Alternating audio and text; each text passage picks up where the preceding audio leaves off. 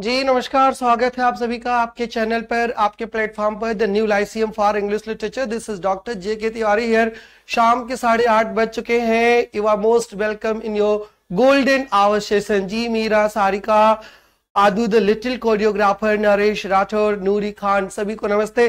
शाम वाली सभी को नमस्ते, सभी को शाम वाली गुड मॉर्निंग सभी को जय श्री राम, सभी को शत श्री अकाल, सभी को एट सभी का स्वागत है। Everybody is welcome to your platform Uh, if you have any doubt, any query, any question, please do share with me. And uh, after addressing your query, I will go forward. If you have any problem regarding today's video, the video that uh, I have I had uploaded in the morning and I hope you would have viewed the video, you would have watched the video, you would have commented as well as shared. Right? G Prospike lovers, Priyanka Pathak, Ajay Sarika, Shashi, सभी को नमस्ते। Just channel share करिए फटाफट। And just share your channel and then I shall start your questioning right question तब शुरू होगा। जी, वालेकुम अस्सलाम। चलिए, स्वागत है। कोई डाउट वीडियो देख ली ना आज वाली? The video that was uploaded in the morning I hope you have viewed देखा है ना? कोई डाउट तो उस पर नहीं है। कोई क्वेरी कोई क्वेश्चन तो नहीं है। और इफ़ कोई डाउट कोई क्वेरी कोई क्वेश्चन नहीं है then only I can proceed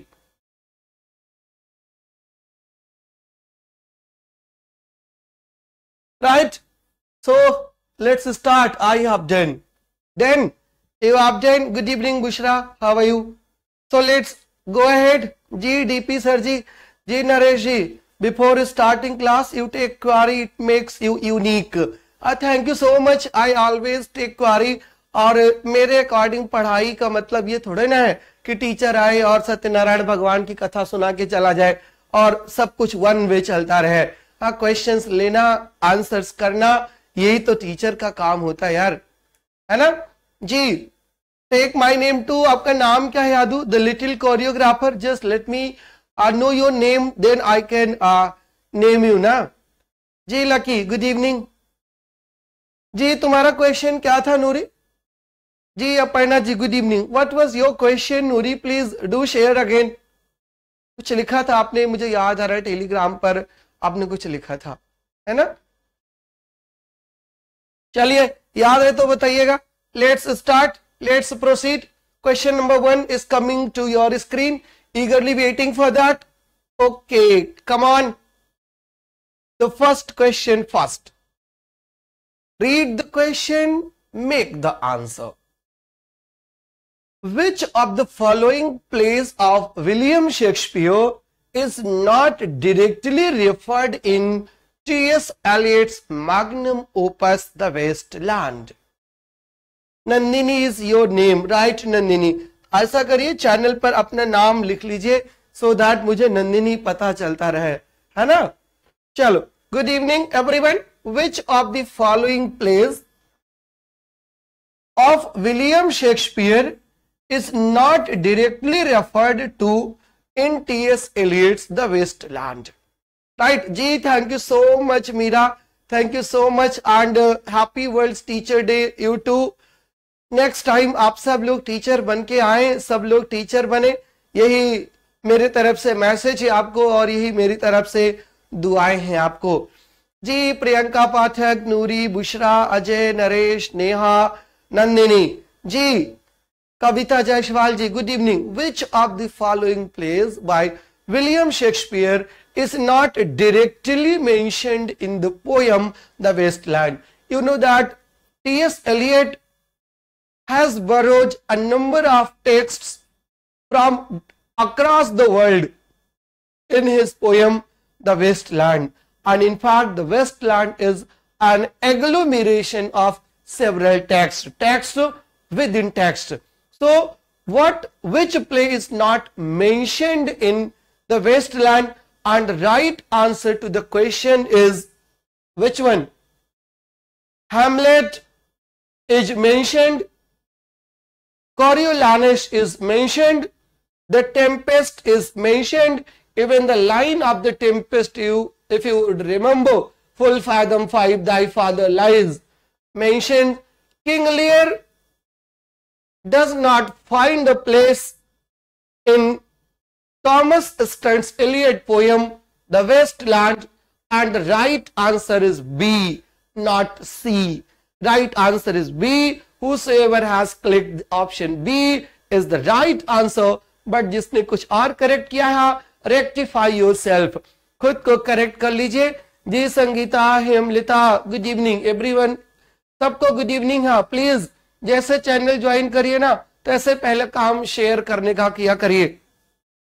So that all the students could join together please do share the channel बहुत सारे लोगों ने अभी तक शेयर नहीं किया है are need have the pressed the button of like all right चल।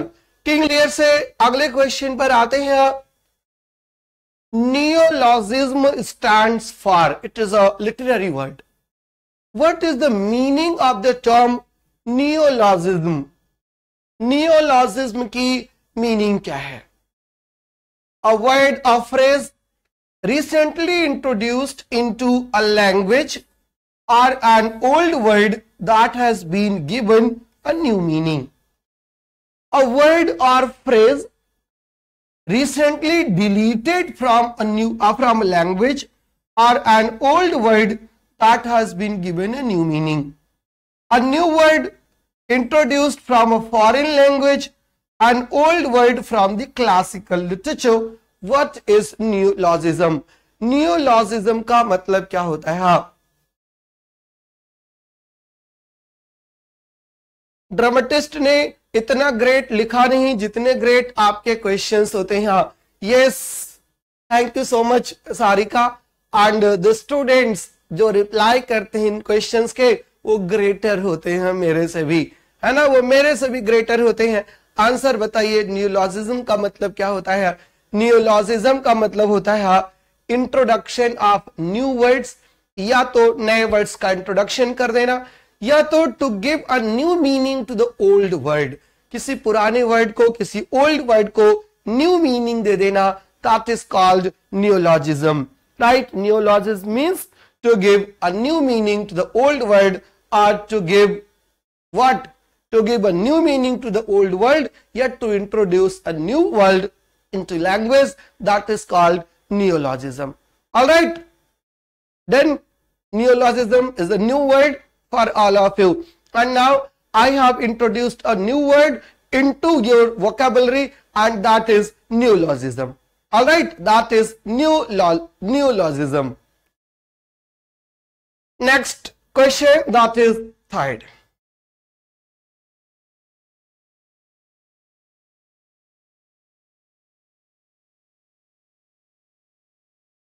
In Memorial Verses, Memorial Verses is a poem.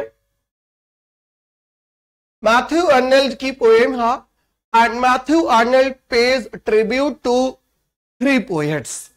Matthew Arnold paid tribute to three poets in his poem The Memorial Verses and the question is who were the three? वो three थे कौन से जिनको उन्होंने press किया है appreciate किया है Goethe, Shakespeare, Wordsworth, Goethe, Shakespeare, Milton, Shakespeare, Milton, Wordsworth, or Byron, Wordsworth, and Goethe. This is the right spelling, Lord Byron. Lord Byron, Wordsworth, or Goethe. Ji Sarika Kavita Neha Sakshi Noori Naresh Kavita Kavita Sapna anybody else right answer to the question the three poets who were paid tribute by another poet Matthew Arnold in the poem Memorial Verses were Lord Byron, William Wordsworth and Goethe. Goethe has been described as the sagest head of Europe. Europe का sagest head describe किया है बताया है Goethe को Matthew Arnold's name. All right, Byron, Wordsworth, and Goethe. Proceed. I wandered lonely as a cloud. I wandered lonely as a cloud. This is a sonnet by William Wordsworth, also known as, sorry, what is the figure of speech used here? Which figure of speech has been used here? The Priyanka, Rinki, Milestone, Shwati. Good evening. You are late. Right? Three questions have already been completed. But don't worry. I wandered lonely as a cloud. Words like as, like, like, like such, like such as.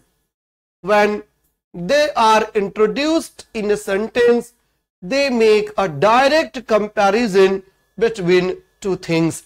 And when there is a direct comparison between two things, the figure of speech is सबका सही answer है the figure of speech is simile. The figure of speech is simile. Right answer is B. And this is the opening line of Wordsworth's sonnet, Wordsworth's poem, Daffodils. Right, Daffodils ki line ha and everybody knows the answer. May I proceed to the fifth question? Still query? Kuch ho? Please do share. Wow, एक करोड़ का question है। In the fall of Hyperion Keats Keats muse figure is fall of Hyperion में Keats की muse figure कौन है? Who is muse you know that in classical Greek mythologies there are total nine muses there are total nine muses and nine muses are the nine sisters and nine sisters are the daughters of Mnemosyne and Zeus. Zeus and Mnemosyne. इनके daughters हैं nine muses and if you had watched my video of today अगर आपने देखा था ना, अगर देखा होगा तो एक म्यूज आज भी आपको मिली होगी, है ना? एक म्यूज आज भी आपको मिली होगी muse of comedy who is muse of comedy Neeru who is muse of comedy कौन बताएगा? अभी बम गिरेगा डोंट वरी अरे वाह, नहीं भाई, कोई बम नहीं गिरेगा। राइट right आंसर जो है इस क्वेश्चन का that is Montia. Right answer is Montia. Montia is the muse who is worshipped in the poem The Fall of Hyperion. But my question was, who is the muse of comedy? Comedy ki muse kaun hai? If you have watched today's video on comedy, first lecture आज आपको मिल गया ना comedy पर और second part of comedy आपको मिलेगा कल morning में टेन ओ क्लॉक पर टेन ओ पर प्रीमियर किया जाएगा। The second lecture on comedy और उस सेकेंड लेक्चर में Italian comedy, commedia dell'arte, romantic comedy, Elizabethan comedy Shakespearean comedy comedy of humours, restoration comedy anti sentimental comedy, artificial comedy, right comedy of manners, sentimental comedy comedy of menace, and modern tragic comedy anti romantic comedy, and sitcom. इतने सारे points कल के video में आपको मिलेंगे। दस बजे wait करिएगा। जी माशूम आदि जी, नमस्ते। कैसी हो? या कैसे हो? पता नहीं तो जेंडर ही क्लियर नहीं हो पा रहा है है ना? चलो नेक्स्ट क्वेश्चन पर आते हैं। आंसर तो आपने बताया नहीं। Muse of comedy is Thalia yes absolutely Neha. Muse of comedy is Thalia और इसीलिए आपको पूरी पिक्चर सहित बताता हूँ। So that you could remember the picture picture ज़्यादा रिटेन होती है दिमाग में। उसको रिटेन करने के लिए पिक्चर देते हैं। Yes I am always right Hemlata. Next question that is question number six I fall upon the thorns of life I bleed expresses the pathetic cry of a wounded heart from, right, pathetic cry. Who is so much pathetic? Male हूँ अरे वाह, कोई बात नहीं यार। Male और female में क्या रखा है? व्हाट्स इन नेम ये शेक्सपियर की लाइन है। है ना? कोई बात नहीं क्लियर हो गया ना? मासूम आदि। आदि से वैसे फीमेल लग रहा था मुझे। मेरे कोई गलती नहीं है। ऐसा पढ़ाया जाता से बताया जाता है। अगर बड़ी की मात्रा लगी हो, बड़ा आ की मात्रा लगी हो तो फीमेल नेम होता है। जैसे थालिया, है ना? फीमेल नेम है। ऐसे रामा फीमेल नेम है। राम मेल होता है। है ना? ऐसे मुझको लगा इसी लॉजिक पर। बाकी you are right because it is your personal name personal choice and I am not so much gender sensitive I question पर आते हैं। पैथेटिक क्राई है पीबी शैली की। And in which poem he laments In which poem he laments? This was the question. And the name of the poem is Ode to the West Wind. Name of the poem is Ode to the West Wind. हाँ जी नूरी बताया होगा ऊपर चला हो गया message नहीं देखा होगा right i fall upon the thorns of life i bleed this is the line from the poem ode to the west wind ode to the west wind की ये लाइन है राइट आंसर इज़ सी हा next question पर चलते हैं। What is mime mime is a छोटा सा question है। पढ़िए, देखिए। A play full of short dialogue a play with no dialogue a poem with bestial characters the state of innocence what do you mean? By the word mime. What do you mean by mime mime क्या होता है?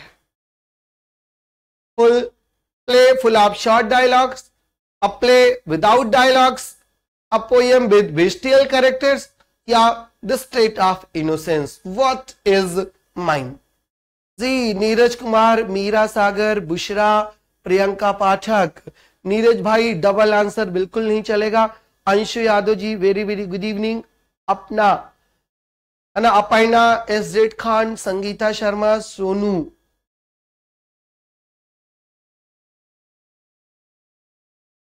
Ajay Mishra no idea Swati प्रॉस्पी के Priyanka Julie Neha Naresh Sarika wow that is the great answer mime is the play without dialogue mime is a play without dialogue and it is a type of dumb show. Dumb show सुना है ना? D U M B dumb नहीं पढ़ते dumb पढ़ते हैं। B O M B को bomb नहीं पढ़ते बम पढ़ते हैं। टी ओ एम बी को टॉम नहीं पढ़ते टूम पढ़ते हैं। सी ओ एम बी को कॉम्ब नहीं पढ़ते कूम पढ़ते हैं। राइट बिल्कुल वैसे ये आंसर है mime is a play with no dialogue right without dialogue ka play hai that is called mime oh thank you so much milestone ji thank you so much for your appreciation a play without dialogue a play with no dialogue is called mime it is not a poem it is not a poem in fact it is a play without dialogue mime and dumb show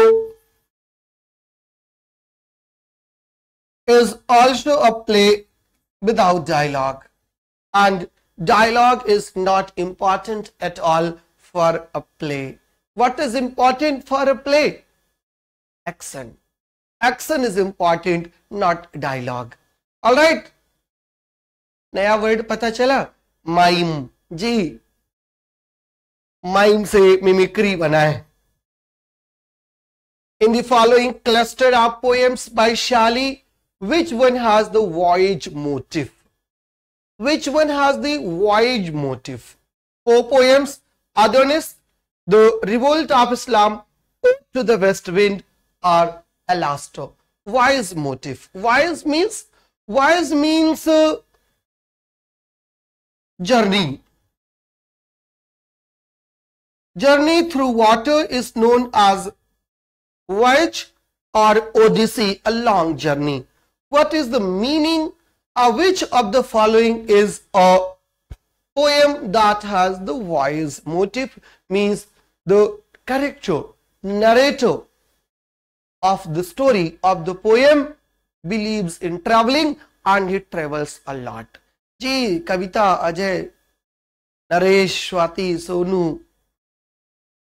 Sarika Ajay Mishra Meera Bushra Priyanka Shashi Noori Jully wise motive clear हुआ ना Adonais is an elegy on the death of Keats, written by P.B. Shelley. And an elegy could not have a wild motive because an elegy talks about things that are still now, that are silenced now. The Revolt of Islam is a poem about revolt, not about travel. The poem about the travel is Alastair or the spirit of solitude. Alastair or the spirit of solitude has the wise motive and Alastair means evil genius and he travels a lot and that has a wise motive. Right answer is D. Right. Priyanka Pathak, Shashi Dubey, Nuri, Julie, Neeraj Masoom Sangeeta Sharma, Pratima Yadav, S Z, Sanjeev Singh, Swati Chaudhary, ये सब D वाले हैं। सबके answers correct है। अब ये मत कहिएगा कि मैंने भी दिया था और आपने नाम नहीं पढ़ा कि नाम आपका पीछे हो चुका है। और मैंने देखा सारा है, सबका नाम देखता हूँ, ऐसा नहीं है। चलो next question is use of words whose pronunciation imitates the sound of the words describes pronunciation whose pronunciation imitates the sound of the words pronunciation and sound of the words are same वो क्या होता है alliteration onomatopoeia oxymoron personification simple question ha और everybody knows the answer. जी, Neha, Priyanka S Z ji, Manoj ji, प्रणाम, Abhishek Kumar, Nuri, Julie, Ajay. Right sound and pronunciation meaning सब same होती है।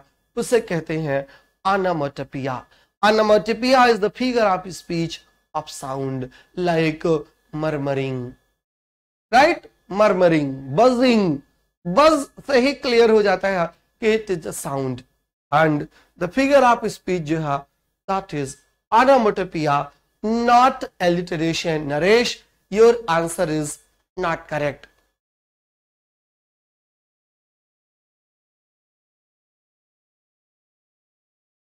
all right question number ten Which of the following poems deals with neighbourly relations neighbourly relations, पड़ोस के relation से कौन deal करता है? Birches, mending wall, home burial, stopping by the woods on a snowy evening. All the four poems were composed by Robert Frost. Robert Frost was an American poet, and which of the following poem talks about neighborly relations? Ji, talks about neighborly relations, पड़ोस के relation की बात करती है जी, lucky, Ajay, Neeraj, Pratima, Naresh, Priyanka, Sarika, प्रॉस्पी, के सबाश Jaya, Hitesh, Abhishek, Julie, Shashi, Neeraj, S Z, Ashok Kumar Maurya. Sanjeev Singh M A final year हाँ जी, बिल्कुल। The mending wall is the poem good fences make good neighbours good fences make good neighbours किसकी line है? Mending wall की। And the poem mending wall talks about the neighbourly relations neighbourly पड़ोस के relations की बात करती है। All right? कितने लोगों ने अभी चैनल शेयर नहीं किए सेल्फिश बने हुए हैं, खाली खुद ही देख रहे हैं, बाकी दूसरे का ख्याल नहीं रख रहे कितने लोग हैं, बताइए फटाफट next question is which of the following characters in Shakespeare's the tempest is associated with the earth Right? There are two types of characters in The Tempest. Associated with earth and associated with air. Airy characters and earthly characters, there are two types of characters. Right? Ji Hayat ji, Namaste. There are two types of characters. Airy characters and airy character is aerial. Airy character is aerial and the question is who is associated with earth. Earth से कौन associated हा? Right the character associated with earth is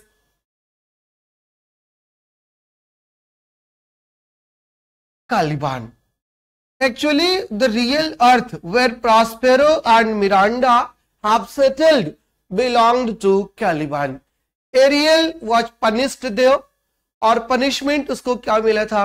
He was hanged from a tree when Prospero reach there Prospero makes him free on the condition that he will Ariel will help Prospero Prospero की help करेगा and after few days he will be released और उसके लिए वो काम करता है right right? उसी के लिए काम करता है।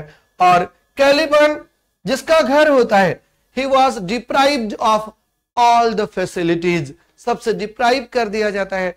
उसका खुद का घर दूसरे लोग आके ऑक्युपाई कर लेते हैं। That is colonialism and Shakespeare के लिए from Shakespeare point of view the play is a colonial play all right जगा दीजिए Z Charles Dickens caricatured utilitarian thinking with telling directness in his portrayal of in which character Charles Dickens caricatured the utilitarian philosophy of Jeremy Bentham and J.S. Mill. Jeremy Bentham and J.S. Mill theory utilitarian philosophy was character, uh, caricatured by Charles Dickens in his novel The Hard Times. And through which character he caricatured, he satirized utilitarian philosophy. And there is only one character who belongs to hard times. And that character is Thomas Gradgrind. Thomas Gradgrind is the character who belongs to hard times and Thomas Gradgrind is a schoolmaster. He runs a school and the teaching, the pedagogy of this school is based on utilitarian philosophy. And what is utilitarian philosophy? Utilitarian philosophy means maximum good for the maximum people. Maximum good, maximum people के लिए जो है उसको बोलते हैं utilitarian philosophy and Thomas Gradgrind is the symbol of utilitarianism. Alright, the right answer to the question is B, not D. Right, D answer nahi ha. Pratima, right answer is B. Ashok Maurya and Pratima, they are with D. Ankita Rani आ गई है शाम वाली good morning आपको भी next question a school of poets who focused on the theme of death, the pain of bereavement, and the longing for immortality. Longing for immortality, theme of death, the pain of bereavement. What was the name of this school? Good evening, Jyoti. What was the name of that school? Platonic school, graveyard school, Platonic school or Frankfurt schools. There are four schools given. Right? Four schools are given or which of the school was represented by the theme of death, pain of bereavement and longing for immortality. Yes, come on. Question number 13, answer number G. Kavita, Ajay, S. Z. Shwati, Naresh, what is the right answer? Dharampal, Abhishek Kumar. The name of the school which represents, which incorporates all these themes was the graveyard school and this graveyard school is also known as churchyard school.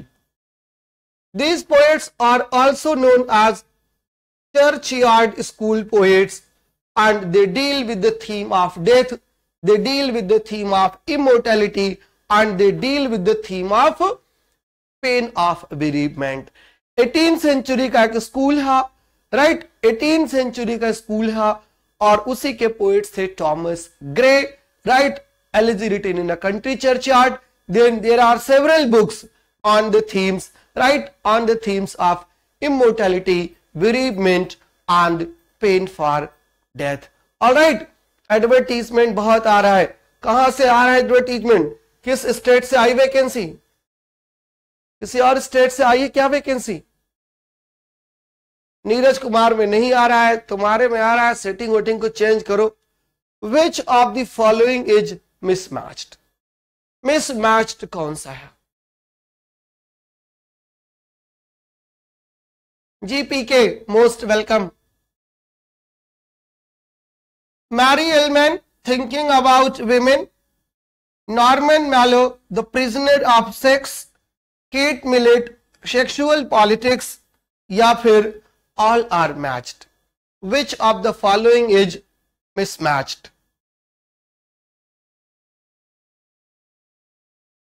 Mismatched कौन सा है?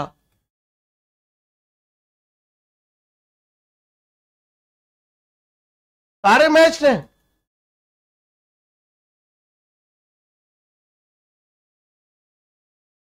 तुम्हारे में भी आ रहा है कल से। कुछ पैसे वैसे दे दो ना फिर यूट्यूब वालों को। है ना? कुछ पैसे वैसे यूट्यूब वालों को दे दो। यूट्यूब प्राइम ले लो तो ना आए शायद, पता नहीं। नो आइडिया मैं तो कभी यूट्यूब देखता नहीं हूँ। खाली दिखाता हूँ बस। कभी भी मैं किसी का यूट्यूब चैनल नहीं देखता। और सिर्फ़ इसलिए नहीं देखता ना कि कहीं ऐसा ना हो मैं उसकी तरह पढ़ाने लग जाऊँ, जिसको देख लूँ। इसलिए मैं अपनी यूनिकनेस बचाने के लिए अकेले ही अपना ही चैनल खाली चलाता हूँ, बिना किसी का देखे हुए। मेरा म्यूज कोई इंस्पिरेशन है नहीं।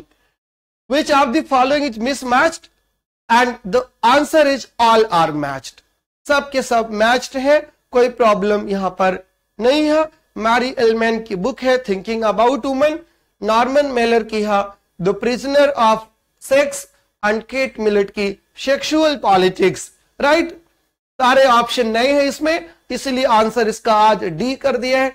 कल आएगा जब तो अलग अलग आएगा। All right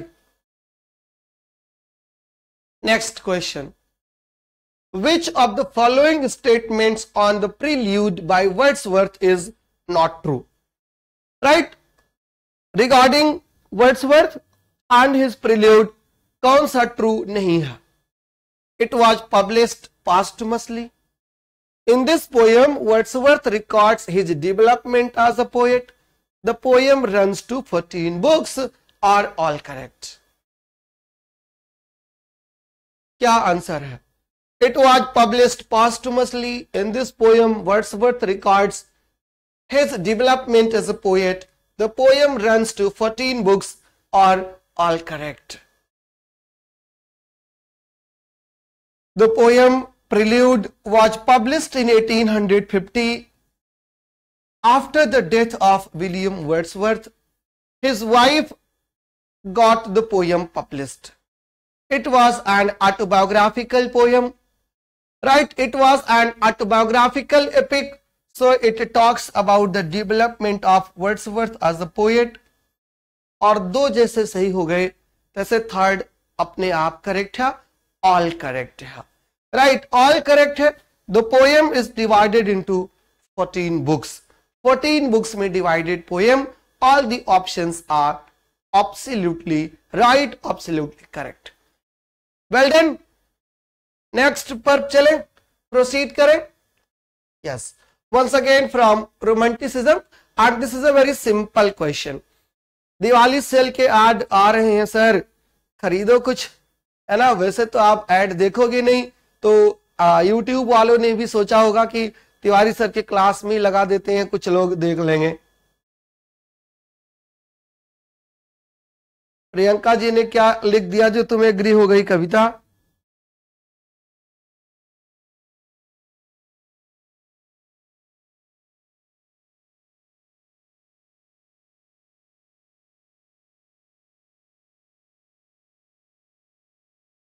Question number 16. The date of romanticism. The date of romanticism, very simple question. Ha?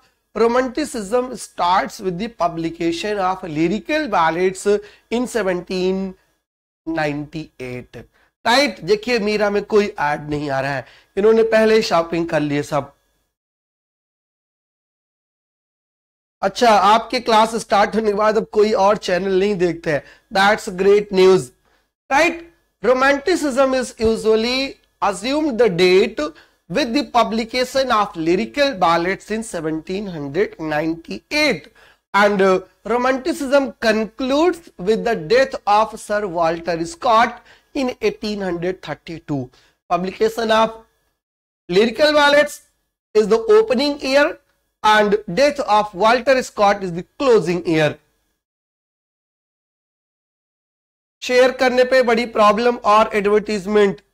दोनों में नहीं मतलब अच्छा ये बात है, शेयर करने पे चैनल न तो कोई प्रॉब्लम होती है और न तो एडवर्टीजमेंट आता है। मतलब एडवर्टीजमेंट उन्हीं पे आता है जो शेयर नहीं करते ना, ये सही रहा। अब देख लो, किसने किसने शेयर नहीं किया है, उसी पर एडवर्टीजमेंट आ रहा है। ये ये भी तरीका पता चला। Thank you Noori great knowledge Robert Frost first published poem was Robert Frost की फ़र्स्ट पब्लिश्ड पोयम कौन सी थी? First published poem of Robert Frost was my butterfly mending wall gift outright और अ बॉयज़ विल जी नरेश, सही है आप? सोनू ने तो कुछ और ही आंसर बता दिए। Sonu, Hitesh, Ajay, Bushra they have different answers जी, श्रुतिका, वाघमारे, नीरज कुमार, कविता, अपर्णा शुभोध आरती, निषाद। मेरा एम ए कंप्लीट नहीं हुआ है नेट का फॉर्म भर सकते हैं। टू सेमेस्टर्स कंप्लीट हो गए हैं और रिज़ल्ट आ गया है और तो आप फॉर्म बिल्कुल भर सकते हो। Right right? अपियरिंग में भर सकते हो, कोई प्रॉब्लम नहीं है बेटा right right? Ji, Meera Sagar you are too late mending wall यहाँ कहाँ पे दिया है अच्छा दिया है फ़र्स्ट पोएम जो थी रॉबर्ट फ्रॉस्ट की that was my butterfly and elegy my butterfly and elegy this was the first poem by Robert Frost and A Boy's Will was the first collection of poetry. Boy's Will was the first collection of poetry, right? And My Butterfly is the first poem by Robert Frost. So answer is A. G. Shrutika, you are absolutely right. Second semester का result तो आने वाला है बस दो चार दिन में आ जाएगा इवेल्युएशन कंप्लीट हो गया है arrange the following elegies in English in chronological order chronology लगाना है। बड़ा टफ क्वेश्चन होता है क्रोनोलॉजी वाला। है ना? बता दीजिए। Elegy written in a country churchyard Adonais Thyrsis in memoriam if you remember the dates, then you will click the right answer. And if you don't remember then you will guess लगाइए guess देखिए क्या आता है answer देखिए elegy written in a country churchyard elegy written in a country churchyard in three option elegy open कर रही है। तो ऑब्वियसली तुक्का भी लगाना है ना तो आप इस वाले को डिलीट कर देंगे। थ्री एलिजी है, अब इसी में से देख लेते हैं कौन सी होनी है। Elegy written in a country churchyard was published in 18th century in 1751 that's why it is given here. Then adonis is given at the second place in two options. Adonis was written by shelley shelley was a romantic poet and uh, in memoriam was written by uh, uh alfred lord tennyson and he was a victorian poet. So romantic age comes first followed by in Memoriam इसलिए C भी option अब हट गया। अब दूसरे number पर है Adonais that was published in 1822 and it was an elegy on the death of John Keats by P B Shelley now you have two options one and two right A and B अब तो कुछ नहीं बताना है ना? Answer is final in memoriam was published in 1850 and Thyrsis was published in 1864. So right answer to the question is A. नहीं B is the right answer. इसका correct answer जो है वो B है इसका करेक्ट आंसर A नहीं है all right next question ये देखिए ये एक फ़िल्म का पोस्टर है और फ़िल्म थी राही। और ये हीरो है उसके देवानंद। देवानंद नलिनी जयवंत बलराज सानी मनमोहन कृष्ण। और एक फ़िल्म बनाई थी के ए अब्बास ने। और क्वेश्चन ये पूछा है कि Hindi film Rahi is the adaptation of किस नॉवेल का एडॉप्टेशन है film Rahi? The guide old man and the Sea, Two Leaves and a Bud or Kanthapura. If you are a good movie watcher, then you will correct the answer. G. Naresh has given answer Kanthapura and apart from him, except him, Ashok Maurya is also with Kanthapura and uh, and all others are with the leaves and the bud. All right, Leaves and the Bud, Shabash. The movie, the Hindi film,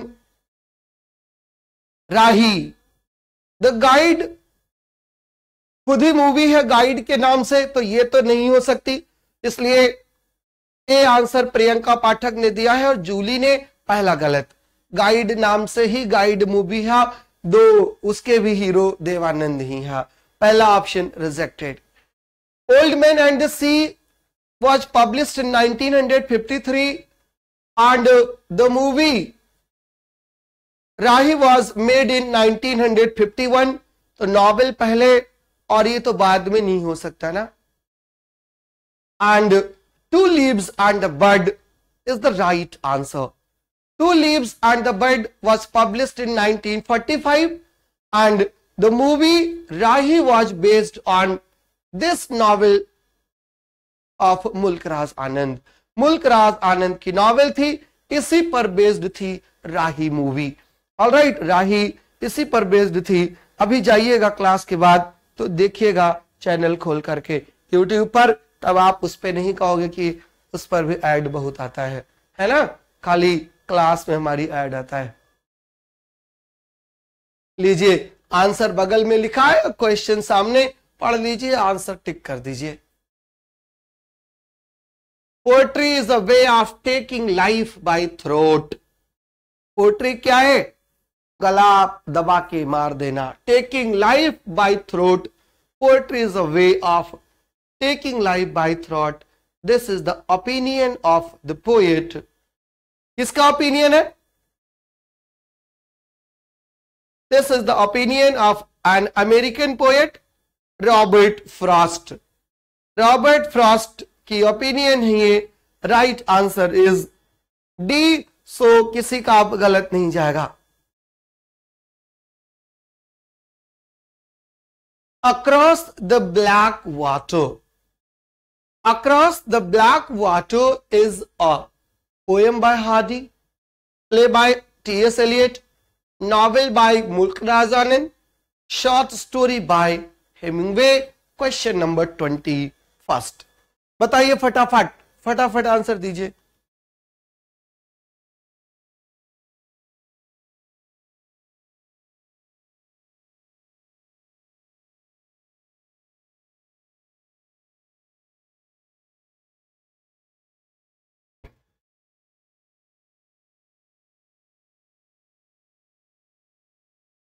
novel है ना?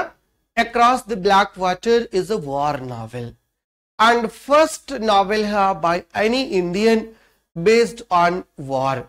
Across the Black Water is a novel by Mulkraj Anand, right? A novel by Mulkraj Anand. Answer is C. Next question. Reggie Hunt. Reggie Hunt is a character in which novel? And those students who are preparing for UP postgraduate teacher examination they will give the right answer. Right they will give the right answer. Reggie Hunt is a character appears in which novel? Two leaves and a bud village untouchable the coolie. All the four novels were written by whom? By Mulk Raz Anand. Mulk Raz Anand was an Indian short story writer and novelist.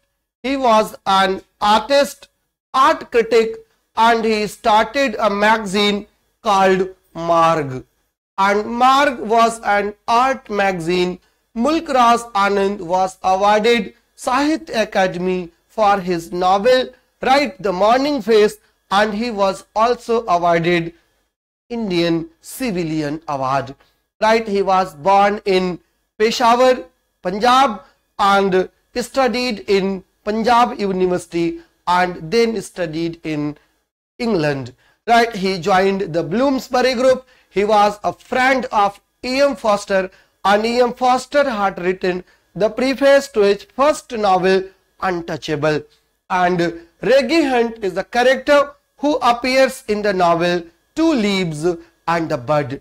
Two Leaves and a Bud is a novel that deals with, that is set in awesome tea plantation. और वहीं पर character होता है, जिसका नाम होता है Dailyhunt रेजी hunt all right I am grateful for your positive influence on my life smart city Ayodhya Dham ने अपना नाम मुझे बताया नहीं है। कभी कभी क्लास में हमारे आ जाते हैं और मुझे इंस्पायर कर जाते हैं। Thank you so much for visiting me time and again. Smart City Ayodhya Dham and be positive, stay positive, make others positive. All right. Next question. That is question number 23rd. Tavern scene appears in. Tavern scene is a scene in which Shakespearean drama Shakespeare के किस drama में tower scene appear करती है? Hamlet Henry fourth part one measure for measure or the comedy of errors in which play the tower scene occurs the tavern scene appears Hamlet Henry fourth measure for measure or the city sorry the comedy of errors बताओ answer फटाफट। जी very fast Kavita A Sarika B Subodh B next come on come on Dharampal B Subodh Kumar B Nirankar Mishra B शाबाश. Meera Sagar, Julie, Naresh S Z Khan, Priyanka Chaudhary, Ashok Kumar Maurya Ajay Mishra, Priyanka Pathak, Shashi Dubey, Sonu Bhagotiya. Right click कर दिया जाए फिर। Majority Henry fourth के साथ है ना? और मेजोरिटी हमेशा सही नहीं होती। मेजोरिटी हमेशा सही नहीं होती। जानते हैं ना? Majority is not always correct so do not change your answers है ना? डेमोक्रेसी है ये.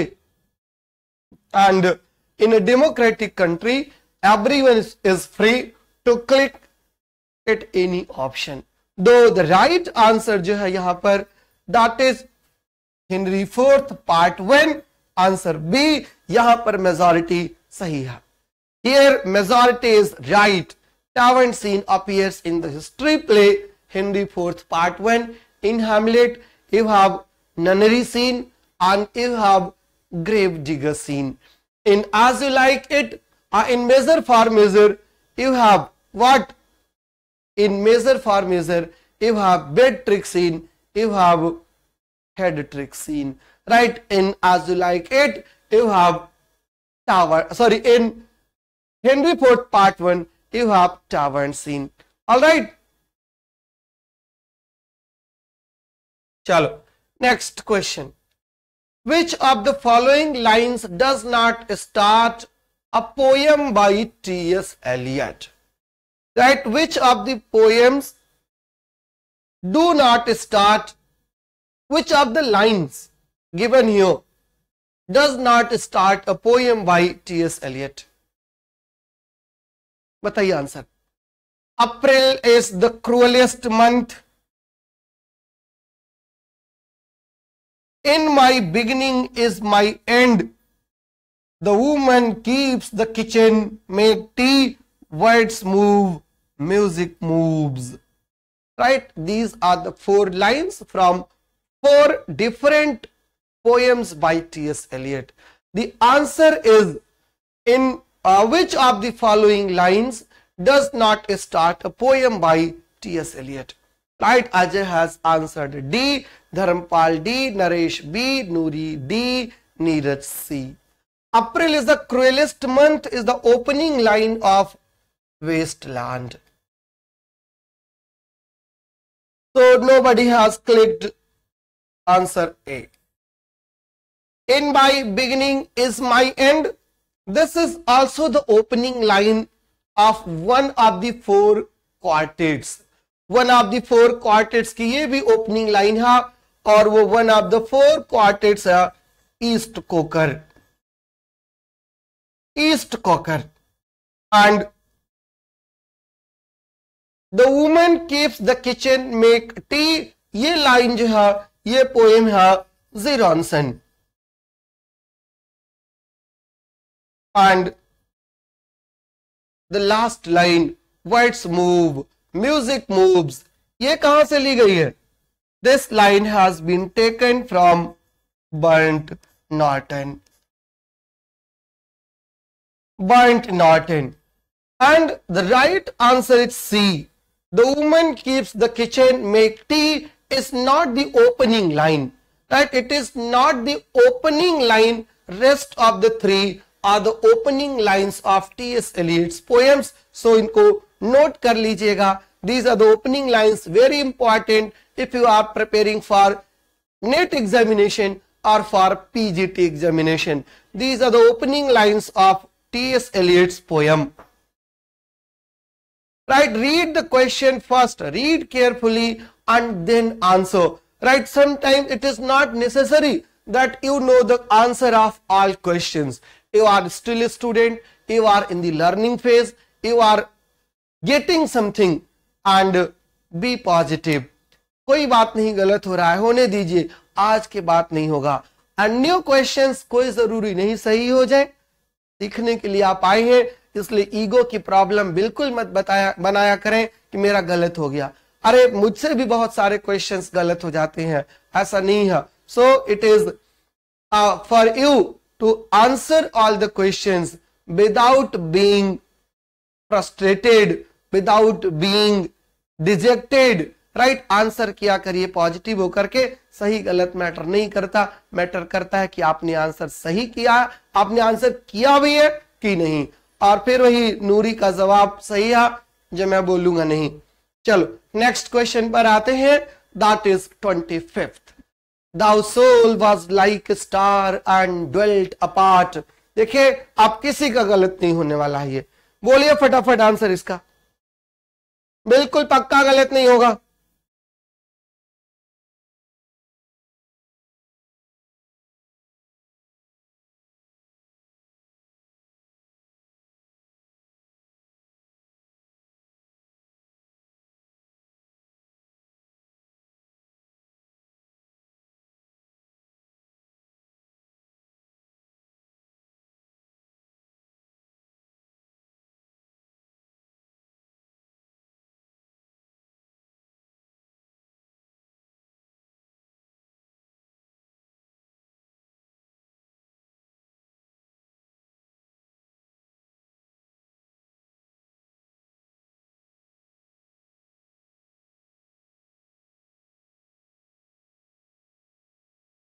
एक रुपया।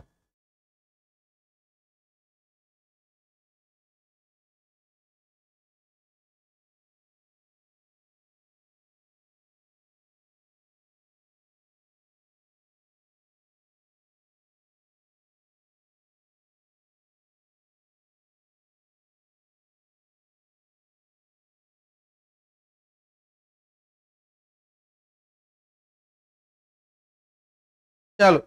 नेक्स्ट क्वेश्चन पर चलते हैं। ये वर्ड्सवर्थ थे on Milton so right answer is A question number twenty six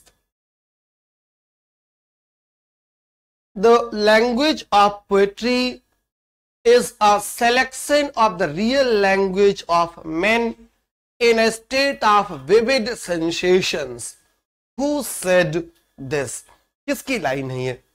चलिए half of the question have been completed and the second half starts from this question 26th the language of poetry is a selection of the real language of men in a state of vivid sensations who said this question number 26 coleridge T.S. Eliot, John Dryden, or William Wordsworth. Who made this statement? Right, Smart City, Priyanka Pathak, SZ, Sanyogita, Neeraj, Dharampal, Shibbu, Ankita, Arti. Kabash. Right answer to the question. The line appears in preface to lyrical ballads. The line appears in preface to lyrical ballads and preface to lyrical ballads was written by Samuel uh, written by William Wordsworth and this is the right answer. Wordsworth in his theory of poetry says that poetry should be written on the language of in the language of common men and on this point only T, uh, Samuel Taylor Coleridge and Wordsworth differed. Right इसी मुद्दे पर दोनों differ करते हैं इसी पर अलग अलग होते हैं। All right Sumedha next question in which poem Wordsworth call a child best philosopher mighty prophet seer blessed Wordsworth in which poem calls a child best philosopher, mighty prophet, seer blessed किस poem की line है? Question number twenty seven ji Bindu Yadav are you lagging behind or have you given the answer to this question the line a poem in which wordsworth describes a boy as a mighty prophet a boy as the best philosopher and a boy who is seer blessed in which poem he describes such a boy and uh, such a boy appears in a poem in an ode in fact and that is immortality ode that is called the great ode intimations of immortality recollections of early childhood this is the name of the complete ode written in two parts published in one. Answer is B Immortality Ode. A child is best philosopher. A child is best mighty prophet and seer blessed. Question number 28. Now, the question is on Ben Jonson. Ben Jonson की comedy पे question है you didn't get the video on Ben Johnson's comedy. But question is here. Right? Question और video को synchronise करके चलिए बहुत सारी चीजें you are going to learn right synchronise करने का मतलब watch the videos and then answer the questions ये सिंक्रोनाइजेशन है Ben Johnson's disliked what he disliked Fantastic comedy wide ranging chronicle history and stupendous tragedy the comedies of Terence and Plautus and the ability of satire to expose human vices and follies किसको वो dislike करते हैं? मतलब you have to tell the answer कि two things are liked by him और वो two liking कौन सी है? और टू डिसलाइकिंग कौन सी है?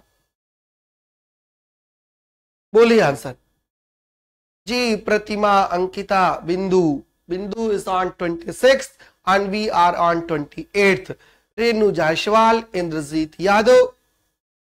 ये कौन सी कॉलरेज है भैया? धर्मपाल, सोनू, आरती निषाद. शाबाश.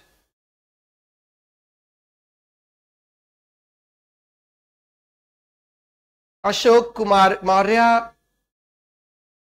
सपना की बीबी, नेहा का डी और ज्योति का दीदी। मीरा का सेकंड एंड फोर्थ ये कौन से ऑप्शन में है? या तो ये जान लीजिए कि कौन से दो को लाइक करते हैं, और या तो ये जान लीजिए कौन से दो को लाइक नहीं करते। और ये आज वाले ही वीडियो पे क्वेश्चन है मेन जॉनसन तो आज वाले में नहीं थे ना बट क्वेश्चन ये वहीं का है Ben Jonson was a classicist right Ben Jonson was a classicist and if he was a classicist it means he believed in the comedies of Terence and Plautus. Terence and Plautus were Latin comedians, Roman comedians. And the second one is that the ability of satire to expose human vices and follies. Ben Jonson was a satirical comedian. Satirical comedian भी है वो और वो comedies of Terence and Plautus को follow करते हैं तो these two are true तो विच टू आर इनकरेक्ट क्योंकि इन ईच ऑप्शन क्या दिया हुआ है third and fourth are correct third and fourth option तो करेक्ट है।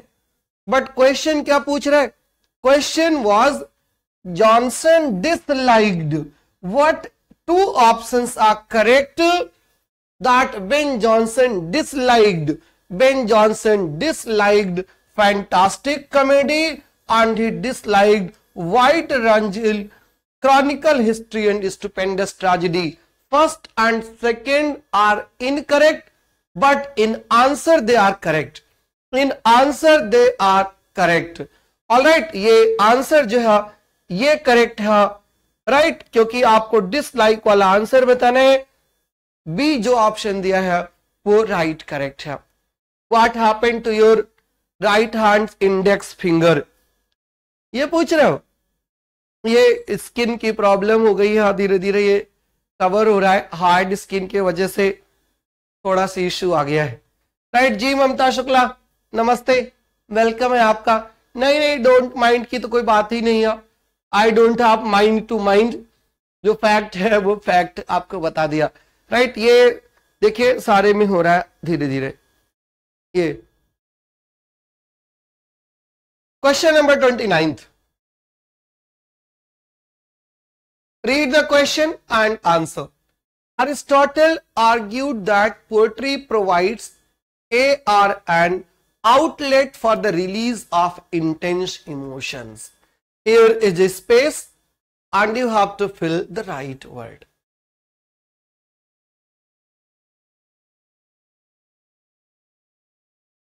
College student हैं अच्छा जी नाम क्या है आपका अगर गुम नाम बाबा नहीं है तो कुछ तो होगा ना नाम कुछ हो तो बता दीजिए अगर बहुत दिक्कत ना हो शर्मा ना रहे हो या कुछ बताने लायक हो तो वैसे नाम तो एक ऐसी चीज़ है जिसपे हमारा कोई वश नहीं होता रखता तो कोई दूसरा है अपने कभी काम नहीं आता दूसरे हमेशा लेते रहते हैं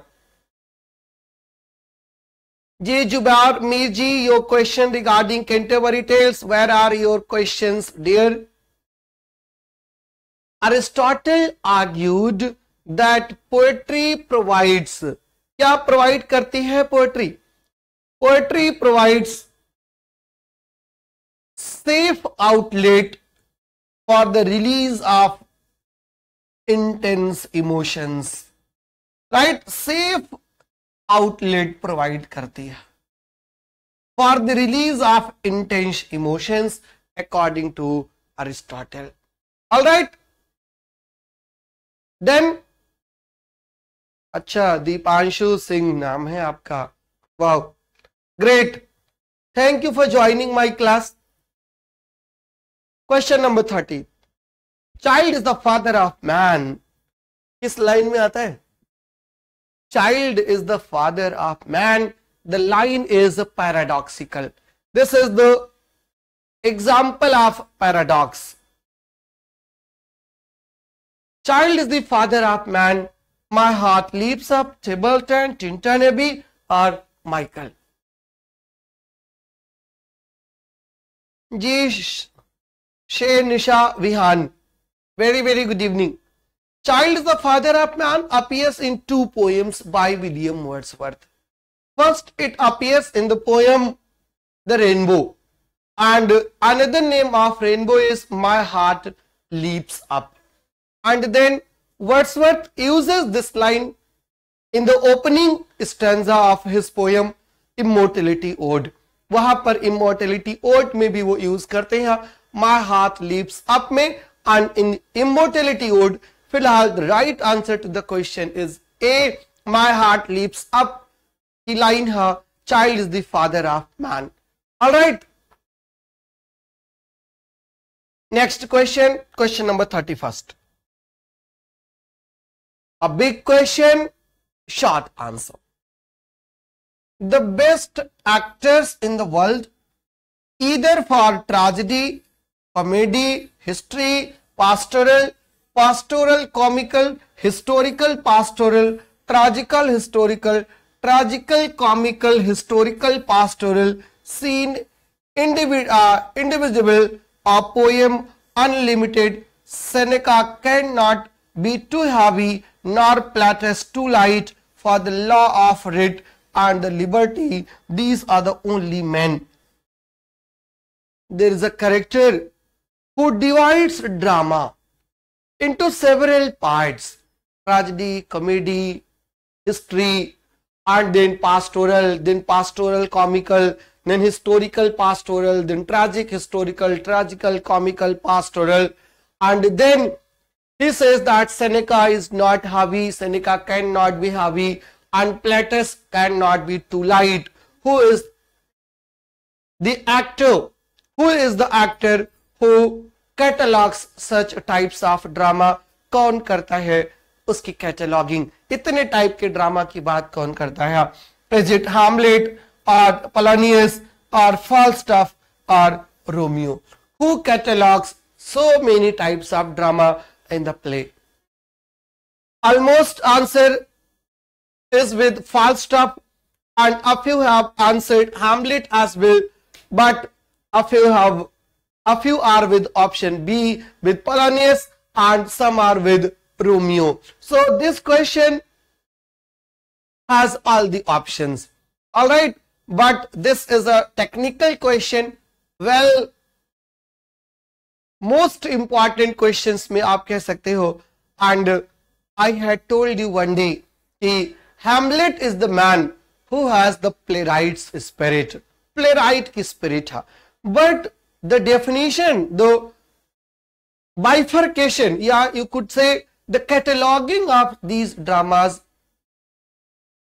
was made by Polonius not by Hamlet Right answer to the question is B. So whosoever have given, has given B answer, we should clap for them. Right answer is B. Neither A nor C nor D. Correct your answer and after the class, search the lines on Google and then you will get right answer once again. The statement, the cataloging was made by Polonius in the play.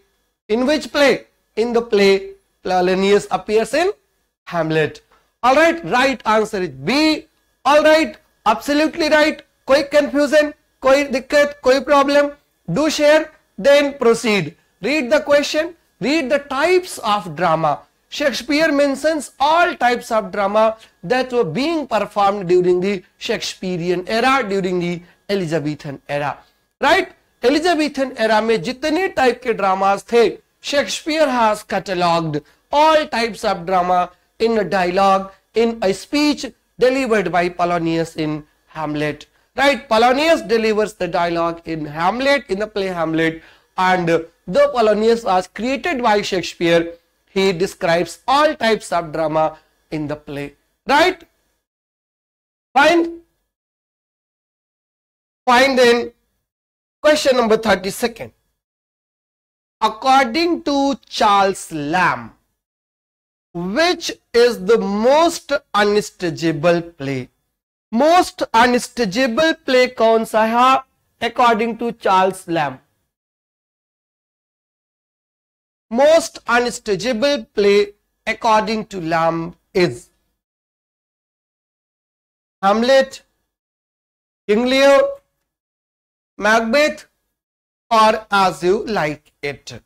Lucky upadhyay says A, Bushra says D, Sonu is with D, Nuri D, Sarika D, Julie D, Sayogita D, Sarika D, PK D, Kavita D Shashi D और Priyanka Pathak D D है ना? चलो very nice Nirankar Mishra D Meera Sagar D Mamta Shukla D Aarti Goswami D Sapna D सबकी D है ना? चलो right answer to the question is the King Lear is the right answer Jyoti Neha Shibu Naresh Neeraj Renu King Lear is the most unstageable play because uh, Charles Lamb thinks that a daughter dies in the lap of her father. This is the most tragic incident. An old man की आंखें निकाल ली जाती है। It is not possible to perform such action on the stage and that's why he says that King Lear is the most unstageable play and Charles Lamb is in favour of reading the plays of Shakespeare rather than performance and Charles Lamb says that commercialisation of Shakespeare plays is killing the very spirit of his drama. It is better to read his plays and perhaps with this view only Charles paraphrased Shakespeare's plays Charles and Mary, brother and sister respectively, paraphrased Shakespearean 20 plays under the title Tales from Shakespeare. Alright, published in 1807, the statement was made by Charles Lamb. King Lear is the most unstageable play. Alright, next question, answer is D and I come to the next question that is 33rd. The Tempest was rewritten by. The Tempest was rewritten by.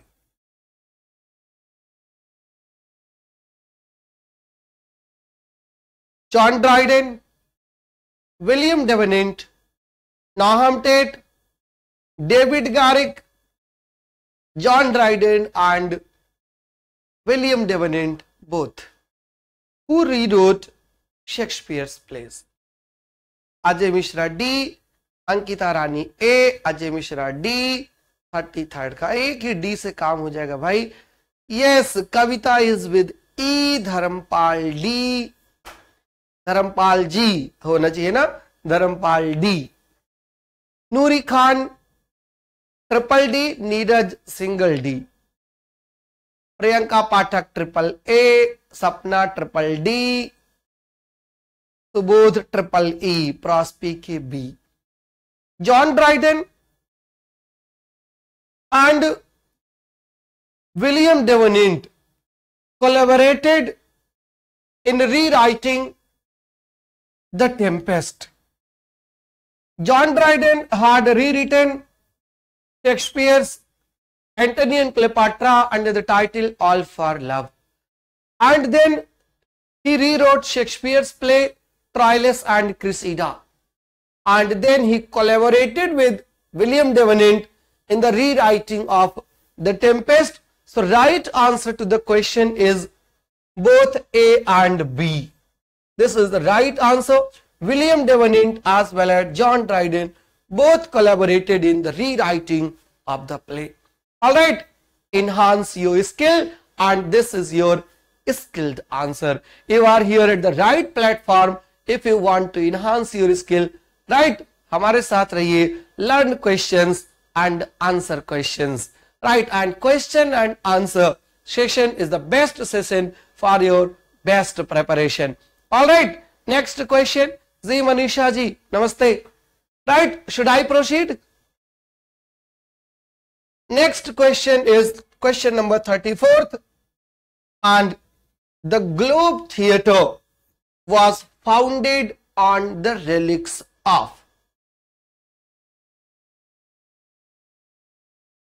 the globe theater was founded on the relics of Globe theatre में Shakespeare was 50 percent share holder 15 percent के share holder थे Shakespeare in the Globe theatre and there was a theatre that is supposedly the first official theater in England and the name of that theater was the theater established in 1576 1576 and then in 1598 this theater was demolished and on the relics of the theater another theater was founded and that another theater is called the globe theater right globe theater was founded on the relics of the theater means जो furniture थे जो भी सामान थे वो सब वहाँ से ले आए गए थे एक नए थिएटर के लिए। Right and the new theatre was called the Globe Theatre and this theatre is also called Shakespeare theatre right Shakespeare theatre इसी को कहते हैं next question that is question number thirty fifth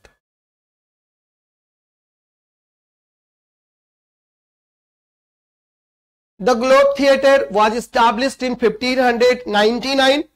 The first play that was performed on Globe Theatre was Julius Caesar. In 1614, 13 in fact, the theatre caught fire and in the following year, 1614, it was rebuilt. I am your old student, Nishi Shani. Nishi Shani from Delhi. You are most welcome, Nishi. Life is a, told, a tale told by an idiot full of sound and fury signifying nothing. This is the philosophy of William Shakespeare. Right? William Shakespeare philosophy and in which play he gives this philosophy. Life is a tale told by an idiot full of sound and fury signifying nothing. The name of the play is Macbeth and this is a soliloquy spoken by Macbeth soliloquy है Macbeth की soliloquy है right Macbeth he name of the play है lucky you are not lucky this time the right answer is a it was spoken by macbeth life is a tale told by an idiot full of sound and fury signifying nothing sound and fury is a novel right title has been taken from this speech only all right. A is the right answer. Question number 36.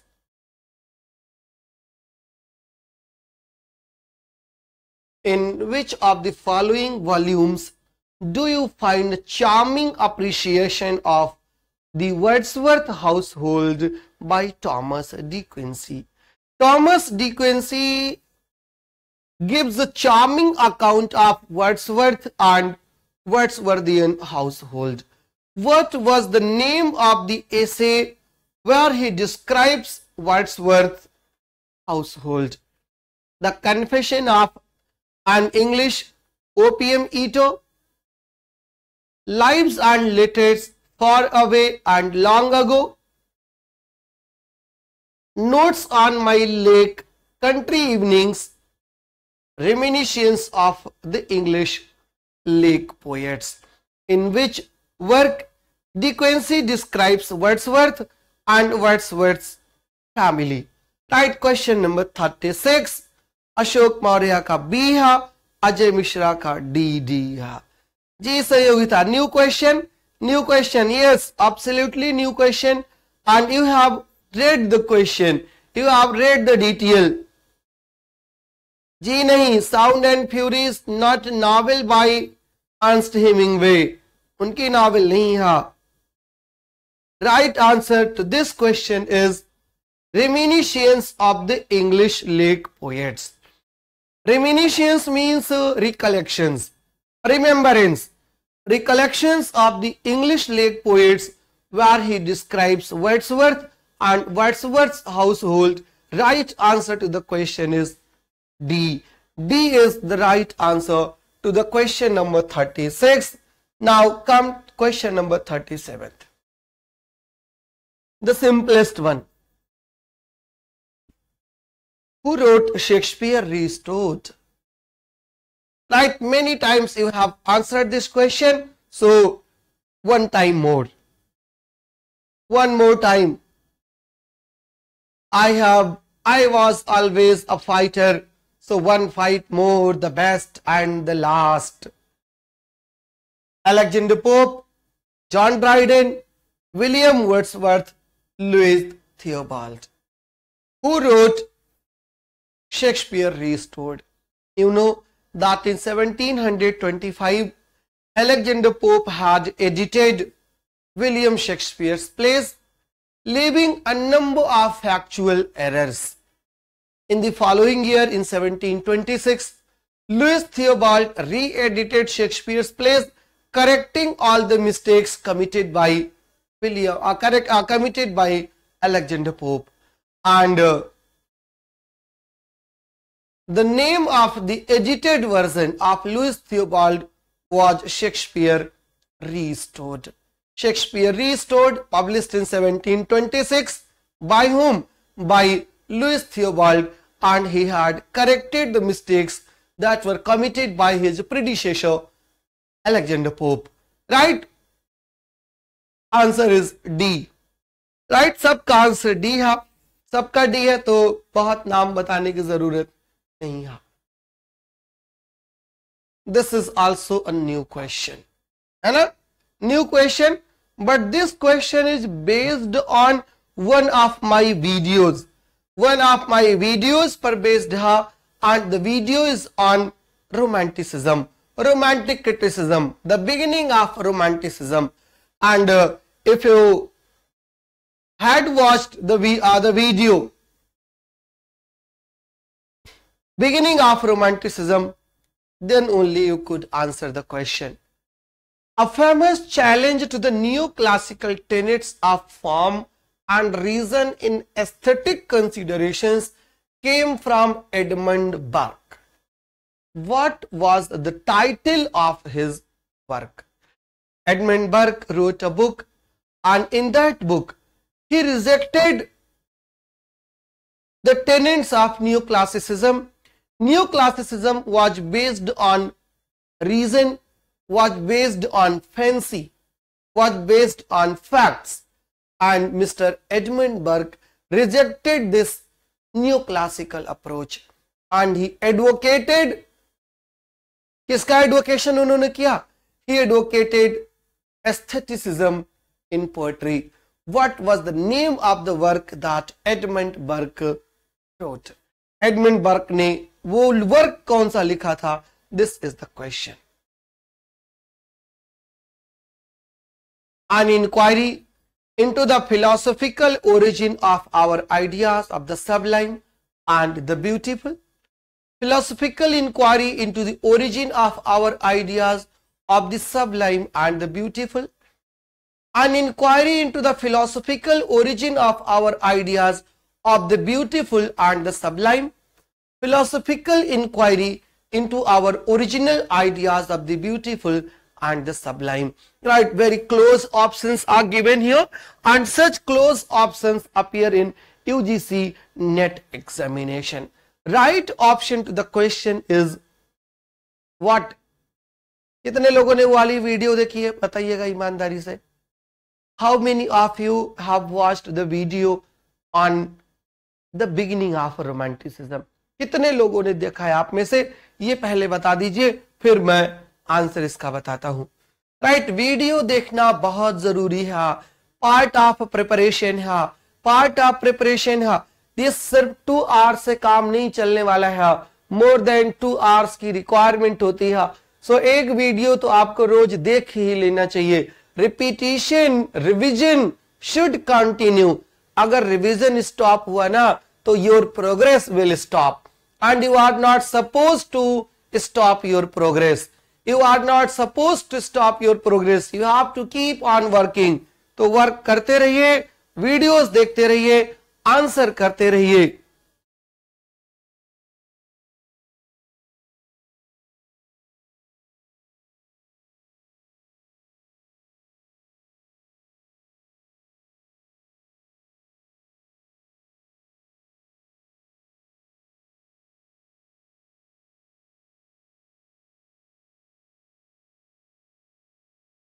Right a philosophical inquiry into the origin of our ideas of sublime and the beautiful. This was the name of the essay and the right answer is C. So click on the right answer and then I will proceed. An inquiry into the philosophical origin of our ideas of the beautiful and the sublime. This is the right answer. अभी नहीं खत्म हुई हेमलता, किसने कहा खत्म हुई? कल भी क्लास नहीं लगी है क्या? ऐसा नहीं हो सकता। जी I am taking classes here as well as on Adhyayan Mantra here I am giving you question are session and literature classes फ़िलहाल वहीं पर हैं। Seven ages of life occurs in seven ages of life once again very simple answer very simple question in fact seven ages of life की बात Shakespeare करता है कहाँ पर? All the world stage on we are merely players we have are exit on entrances किसी type की कुछ line है ना? किस प्ले में है?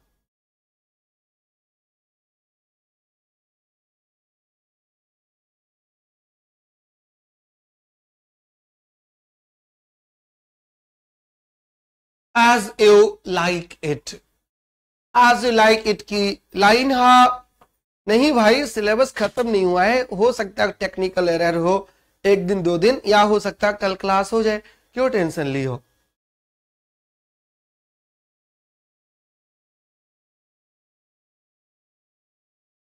चले आगे। As You Like It is the right answer next question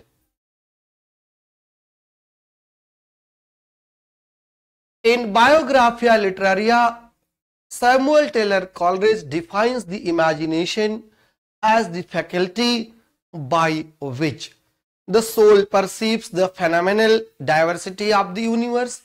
The soul perceives the spiritual unity of the universe. The mind acquires image by its associative power. The mind separates image by its discriminatory power. Right answer क्या है बता दीजिए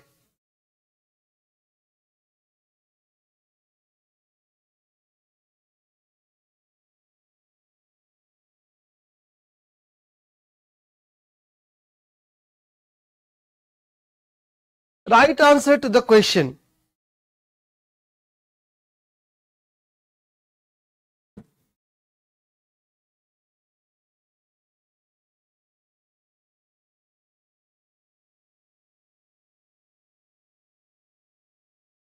Let's proceed. Right answer. The soul perceives the spiritual unity of the universe. The soul perceives the spiritual unity of the universe Right answer is B. Question number 41st. According to Longinus, the sublime has the following features except. Sublime has the following features except It is the essence of all great poetry and oratory. It is interested in the usual rhetorical goal of persuasion. It valorizes special use of language and it is a matter of reader response. According to Longinus, there are five sources of sublimity, five sources of sublime. And what are the five sources of sublime? Five sources of sublime कौन कौन से हैं number एक grandeur of thought number two capacity for strong emotion number three special use of language figure of speech and then dignity of composition. These are the four or five sources of sublimity. Here the answer is, according to Longinus, the sublime has the following features except और accept कौन सा नहीं है sublime is not interested in the usual rhetorical goal of persuasion right persuasion is not the goal of sublime goal of sublime is to heighten you right to elevate you to elevate the reader right wo hai right answer to question number 41st right answer is b for bombay question number 42nd. Who among the following was होना चाहिए था नहीं कई हैं were associated with the Irish dramatic movement. Irish dramatic movement was a movement in the field of drama and uh, W.B. Yeats was one of the progenitor. A theater was established that is called the Dublin Theatre, right? Uh, what is called the Abbey Theatre established in Dublin and who were the propounder of uh, this Irish dramatic movement. One name I had already told you and that is W.B. Yeats And what are the other two? If W.B. Yeats is one of the three, then option B is not correct. Rest of the में से आपको ढूंढना है lady Gregory, John Middleton Synge and W.B. Yeats. These three, these three were associated with Irish dramatic movement and these three had their hands in the establishment of what? In the establishment of Abbey Theatre. क्या लिखा भाई camera में focus करो ए ये क्या है भाई पता नहीं Naresh ji lady Gregory W B Yeats J M Synge these were the Irish dramatist and they were associated with the revival of Celtic revival में एसोसिएटेड थे एंड केल्टिक रिवाइवल का ही एक पार्ट था, जिसका नाम था what Irish dramatic movement next question the term the comedy of menace is associated with the early plays of comedy of menace menace means menace means threat And comedy of Minas is the mixing of comedy and tragedy. When you watch a comedy of Minas, you are always scared that anything can happen. Anything negative can happen. Kuch bhi happen ho sakta hai. So you watch the tragedy. And at the time of highest pleasure, there is a doubt that anything negative could happen. That is comedy of Minas. And who was associated with the comedy of menace Arnold Wesker John Arden Harold Pinter और David Hare right right answer is G Ashok ji very very good evening ji Naresh Mishra Sahyogita Subodh Noori Hemlata Sarika Neeraj Meera Sagar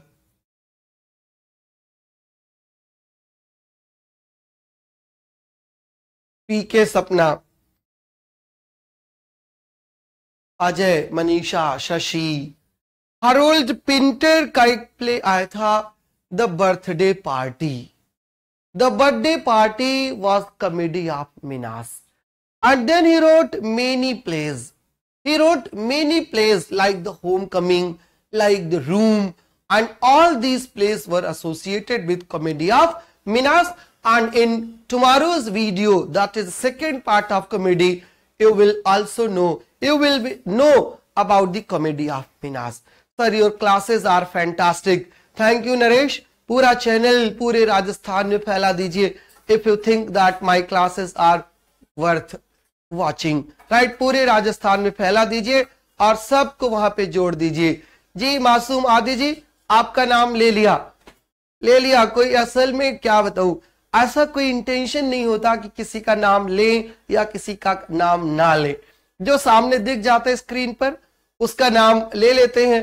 कोई ऐसा होता है कि बार बार दिखता रहता है तो बार बार दिमाग पे चढ़ी जाता है ना? रसरी आवत जाते सिल पर परत निशान ये है तो ऐसे सिल ही। लेकिन इतनी बार रस्सी चलती है ना, चढ़ी जाता है। कोई नहीं, आप बिल्कुल टेंशन ना लीजिए, आप हमारे दिल में रहते हो। ठीक है, और जो दिल में रहते हैं ना, उनको दिल से बाहर थोड़ा ना किया जाता है कि हर कोई जान ले। कुछ सीक्रेट होता है, और सीक्रेट को सीक्रेट ही रहना चाहिए। चलो नेक्स्ट क्वेश्चन पर आते हैं। That is question number forty fourth answer is clear right answer to the question is Harold Pinto Harold Pinter was basically a cricketer in his childhood and from a cricketer he became a dramatist and then he became a Nobel prize winner Nobel prize भी मिला था Harold Pinter को। Identify the group below which is known as Sons of Ben. Sons of Ben are tribe of Ben.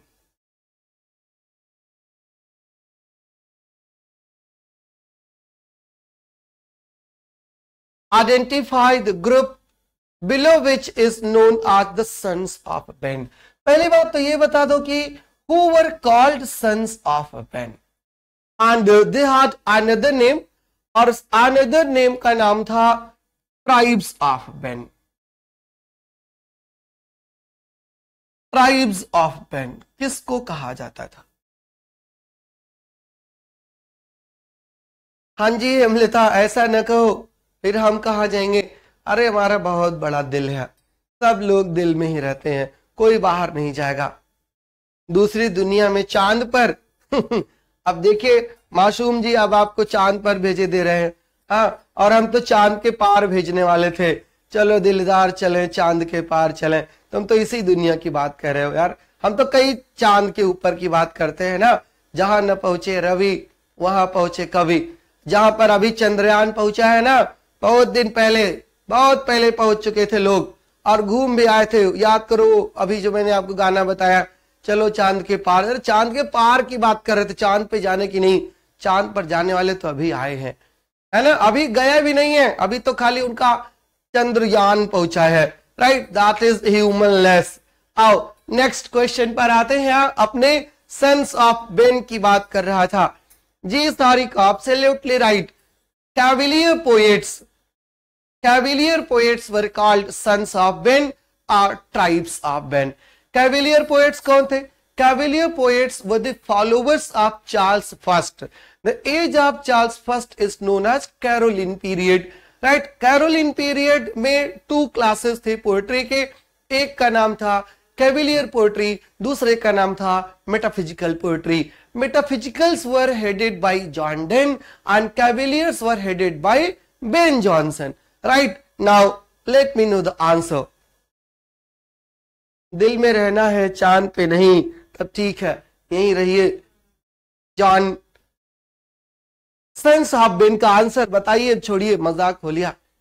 William Cartwright, Richard Corbett, Thomas Randolph, जो given options हैं, इनमें से ये लोग जो थे they were sons of Ben they were the members of the tribe of Ben right answer C William Holman Hunt पे टिक किया है नरेश जी ने।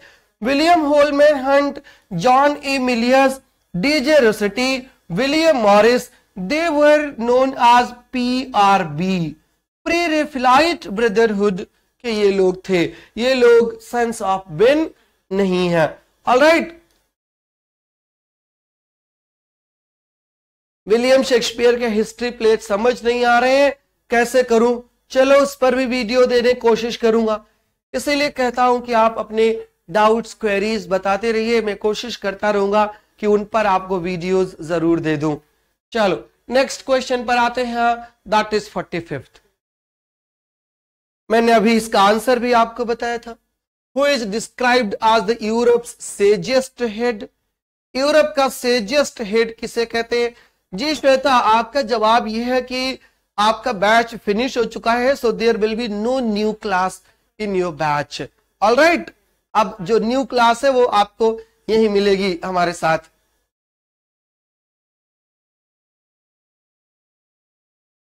यूरोप का सेजेस्ट हिस्स किसको कहा गया है? And who called him Europe sagest head just a few minutes before we discussed the question who is described as the Europe's sagest head. Europe's sagest head was Goethe. According to whom? According to Matthew Arnold. Matthew Arnold in his poem Memorial Verses paid tribute to Wordsworth, Byron and Goethe and Goethe was described as the Europe's sagest head by him. So the right answer to the question is A. Goethe is the answer. Right now I come to the next question that is 46th. Who among the following advanced the theory that the mind is tabula rasa? Mind is tabula rasa at birth and acquires all ideas by experience. जब आदमी पैदा होता है तो उसका mind क्या होता है टैबुला रसा टैबुला रसा मीन्स टैबुला रसा means blank slate of the mind. जब हम पैदा होते हैं तो ऊपर वाला कुछ लिख के नहीं भेजता। हमारा जो माँ जो दिमाग होता है, वो पूरा ब्लैंक स्लेट होता है। Right blank slate like this black board you can write anything and whatever we write we write through our experience experience, that is empiricism. When we are born, our mind is tabula rasa. Our mind is completely blank. Society leaves its imprint on our mind and that's why Rousseau had said that man is born free but everywhere he is in chain. And the line tabula rasa, the theory of tabula rasa was propounded by John Locke. John Locke theory है the mind is a tabula rasa at birth and acquires all the ideas by experience right mind acquires all the ideas by experience and when we are born we are born with the blank slate of the mind nothing is written over there it means he was discarding the theory that everything is already decided nothing is already decided we decide our future रेखाएं हम बनाते हैं पहले से कुछ नहीं बना होता all right answer is John Locke next question पर आते हैं इनको लॉक करते हुए।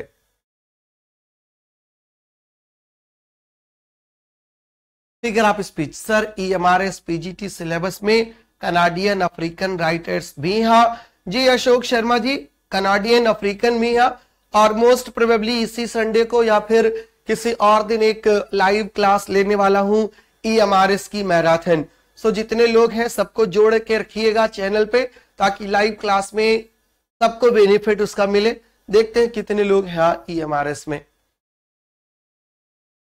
बोलिए आंसर।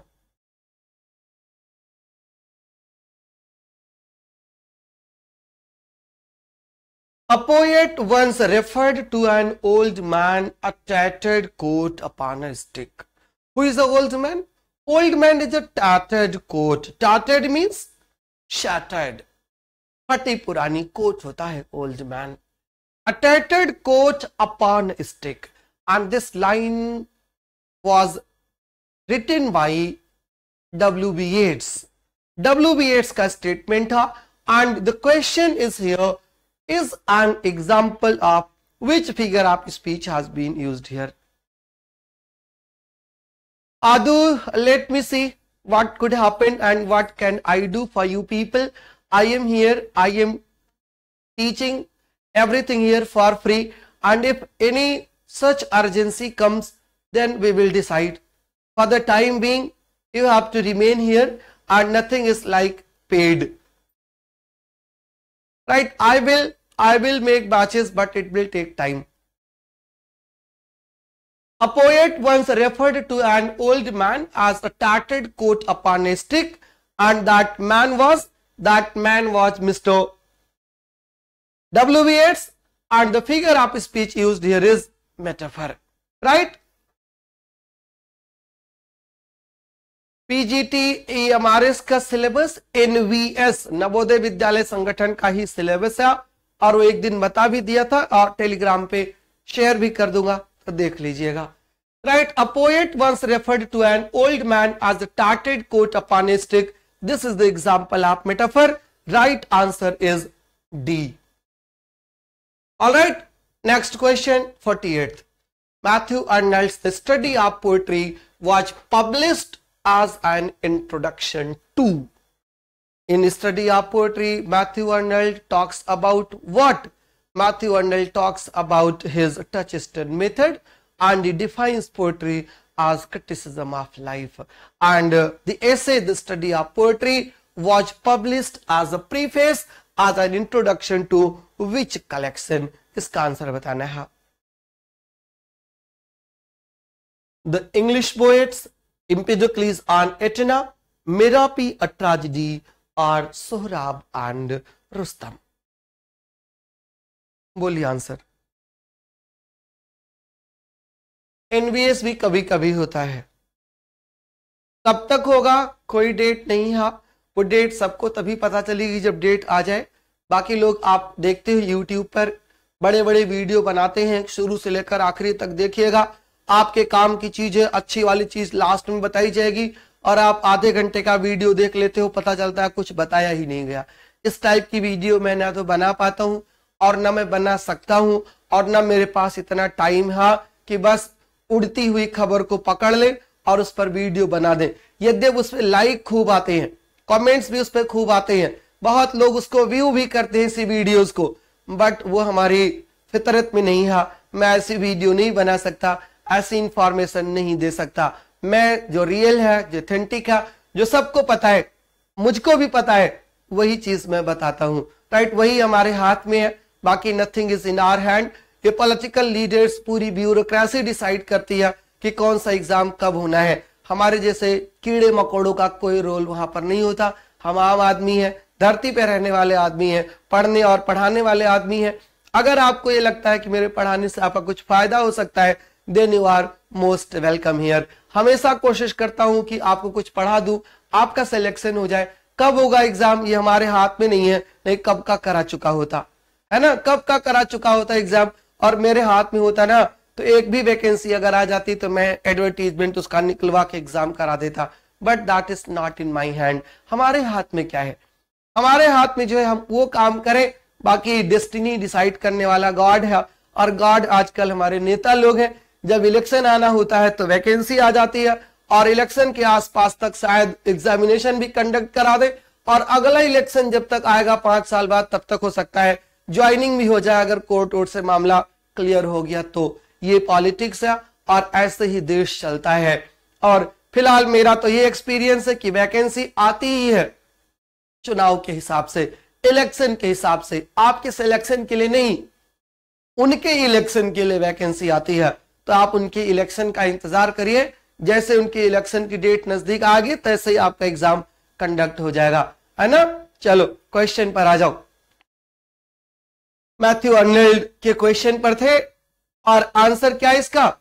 आंसर है इसका A the English poets the English poets के नाम से एक एंथोलॉजी हुई थी पोएट्री की, और this anthology was written by compiled by T H Ward T H Ward की एंथोलॉजी थी the English poet and publish in eighteen hundred eighty and in the same year the poem the study of poetry was publish as an introduction to this work answer is A right जी, अजय, मेरे हाथ में question है और तुम्हारे हाथ में pen आप answer tick करिए, ऐसे तो हाथ से आंसर टिक करते होगे ना? चलो नेक्स्ट क्वेश्चन पर आते हैं. Forty ninth who, according to Matthew Arnold, is the only classic? Who is the only classic according to Matthew Arnold? Matthew Arnold किसको क्लासिक समझते हैं? और वो इकलौता ही क्लासिक है उनके अकॉर्डिंग और कोई क्लासिक ही नहीं है। बोलिए। Only classic according to Matthew Arnold right forty ninth question is over and now come to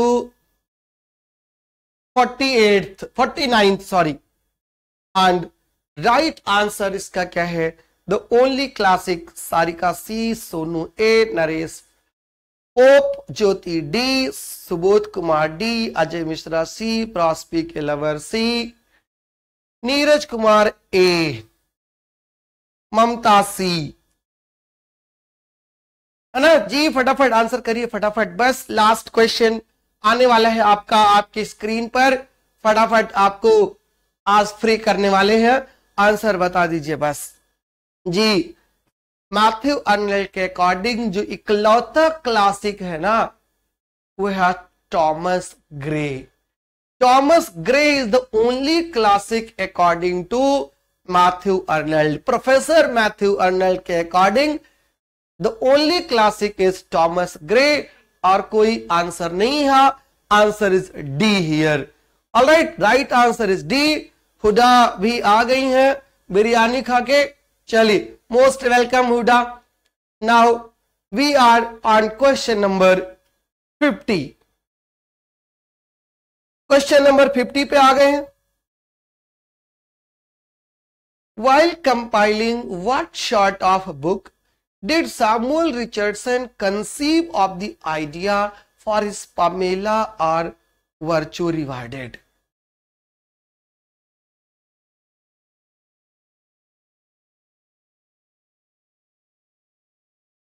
while compiling what sort of book किस टाइप की बुक कंपाइल कर रहे थे Samuel Richardson when the idea of Pamela came into his mind. He was compiling an account of plague in London, an instruction manual for manners, a book of devotion, or a book of model letters. Model letters, right? Mister Samuel Richardson was a letter writer and he use to write letter for the ladies जिनके husband घर के बाहर काम करते थे। उनके लिए letters लिखा करते थे। और जो वहाँ से लेटर्स आता था रिप्लाई में, उसके जवाब पढ़ा करते थे। और उसमें बहुत सारे लव लेटर्स भी होते थे। लोग अपने वाइफ को और अपने हस्बैंड को लेटर लिखते थे और दोनों का जंक्शन हुआ करता था, mister Richardson. He use to write the letter for ladies and he use to read the letter for ladies दोनों काम करता था। और in this way the idea Pamela struck in to his mind उसके दिमाग में आइडिया आता है एक नॉवेल लिखने का। and then he wrote the novel Pamela or Virtue Rewarded and in this way he developed epistolary novel right Samuel Richardson developed epistolary novel through letters right the novel where story proceeds with the help of letters उनको epistolary novel कहा जाता है right answer to the question is B B for Bombay and this is the last question आज का आपका आखिरी question आपकी screen पर है। आंसर कर दीजिए और आपकी आज की क्लास यहीं पर होगी खत्म। सबको ऑल द बेस्ट बहुत सारी शुभकामनाएँ। मस्त रहिए बेस्ट रहिए। वर्ल्ड टीचर्स डे है आज और आप सभी को वर्ल्ड टीचर डे की बहुत सारी शुभकामनाएँ। आगे बढ़ते रहिए, दुनिया को सजाते रहिए, दुनिया को संवारते रहिए। दुनिया को सजाने और संवारने के पहले खुद को सजाते रहिए, खुद को संवारते रहिए, खुद को इंप्रूव करते रहिए। An improvement is a life time process it never concludes keep on working hard and hard work will definitely give you fruits the right answer to the question is a rough diamond and must first be polished ere he shines और जो rough diamond है according to John Dryden is Geoffrey Chaucer Geoffrey Chaucer was the rough diamond in the words of John Dryden and he was father of English literature according to John Dryden. Right? Thank you so much for being with me. Thank you so much for spending your two hours with me and thank you so much for learning something. कुछ आपने पढ़ा इसके लिए भी आपको बहुत बहुत बधाई कल मिलेंगे फिर सेम चैनल पर सेम टाइम पर 8:30 थर्टी ओ पर, जिसका आपको बहुत बेसब्री से इंतज़ार रहता है। कुछ नए क्वेश्चंस कुछ नई इंफॉर्मेशन और कुछ नए, बहुत सारी चीज़ें नए। साथ मिलते हैं कल। मस्त रहिए, व्यस्त रहिए, खुश रहिए। और हाँ वीडियो ज़रूर देखिएगा। आज जो हमने अपलोड किया कॉमेडी पर बहुत क्वेश्चंस आते हैं पेपर में। And tomorrow at ten o'clock sharp you will get another video that will be the second part of comedy और उसको वॉच करिएगा। कल की क्लास में बहुत सारे क्वेश्चंस हो सकते हैं आपके इन दीज टू वीडियो से। All right good luck bye bye take care all the best जय हिंद, जय भारत।